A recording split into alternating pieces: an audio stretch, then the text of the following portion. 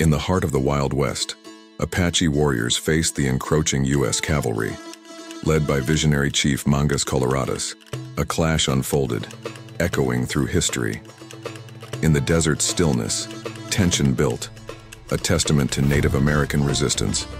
Suddenly, an Apache ambush turned the tides, led by Mangas Coloradas, against a force seeking to conquer ancestral lands. Amidst intense combat, Canyons witnessed a brutal confrontation for freedom.